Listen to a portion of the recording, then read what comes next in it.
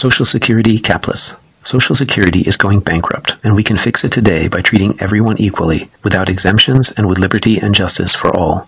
Every citizen will pay into Social Security at the same percent based on total yearly wealth, with no cap or upper limit. If the government wants to steal from Social Security, then it must also steal from the rich. The current tax is about 6% with a cap set around 130,000. Today, if one earned 5 million, the tax is about 7,800, but after cap removal it would be 300,000. The rich and powerful will stop politicians from stealing their money and social security will be protected. We can retroactively implement the cap removal for the richest 2%.